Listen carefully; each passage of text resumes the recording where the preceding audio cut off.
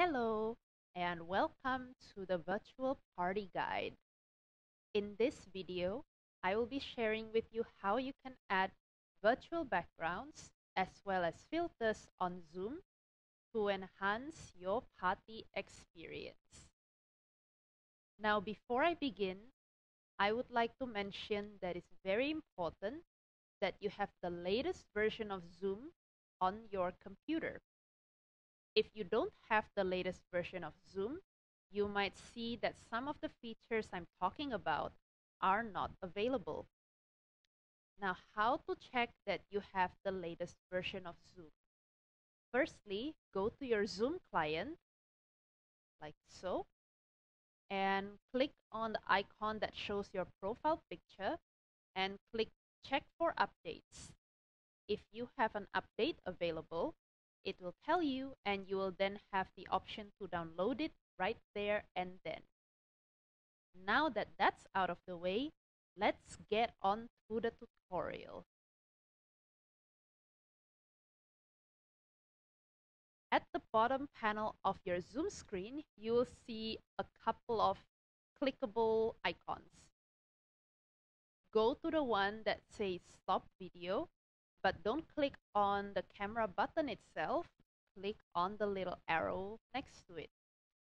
It will then show you a few options from which select choose virtual background. It will then open a window that allows you to choose a virtual background or add some. Now depending on the device that you're using it might be that a green screen or a solid color video background is required. In my case, it is required. So at the bottom here, you will see um, something that says I have a green screen, which you can tick or untick. If I untick this, it will just show my plain background, which in this case is a green screen because my computer does not have the specifications that allow it to use a virtual background without a green screen. So I have to have this tick, but it's actually not necessary to have an actual green screen. All you need is a solid color background, which can be any color, white, blue, black. So for the purpose of this tutorial, I will tick this and now I can select among the many options that I currently have. But if you are just starting, you might only see these few options to begin with. And earlier I was using this one with the little doge behind me. Now how you can add a new image is by clicking this little plus button on the side and click add image. This will then take you to your computer files from which you can select an image file, um, a JPEG or a PNG file for the most part, which you can then select to be your virtual background. And once you've added some images, you will see them listed here and you can simply change by clicking on the one you want.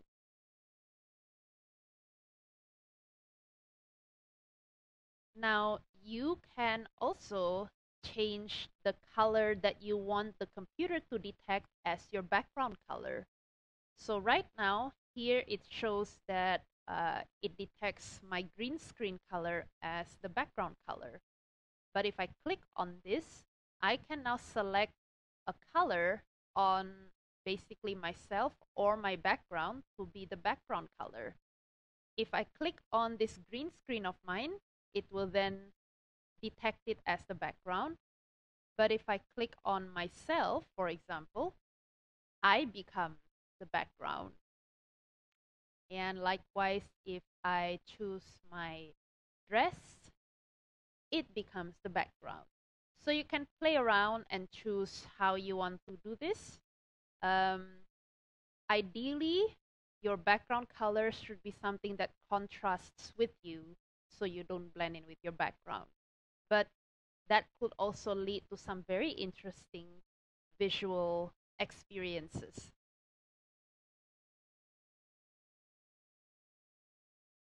Now, aside from images, you can actually also have video virtual backgrounds. Now, I can't demonstrate this because my computer does not allow me to use video backgrounds. You need uh, certain kinds of processors in order to be able to use video virtual backgrounds. And unfortunately, my computer doesn't have that. But if you do, you can then use the same plus button and it should show you the option to add video. And you can then select an MP4 or MOV file to be your video virtual background.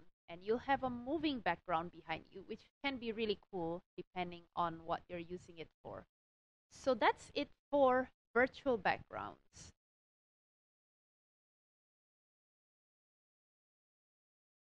Next is filters. Here, you can see that there is a tab for virtual backgrounds and a tab for video filters. If you click on video filters, it will show you a bunch of things that you can choose from that will be then added to you um, as it detects your face. So right now I already have glasses, but I can add on glasses on top of my glasses because the glasses you're currently seeing is a filter from a different software. I will cover this in a separate video tutorial that is specifically for that software, which is called Snap Camera. But for the purpose of this tutorial, I will just be covering the Zoom video filters, which you can see right here. And um, so as you can see, I can have a snap camera filter and add on zoom filters on top of that. So it can be quite fun. So feel free to explore and see which ones you feel like using for the day. You can change it very easily as and when you like.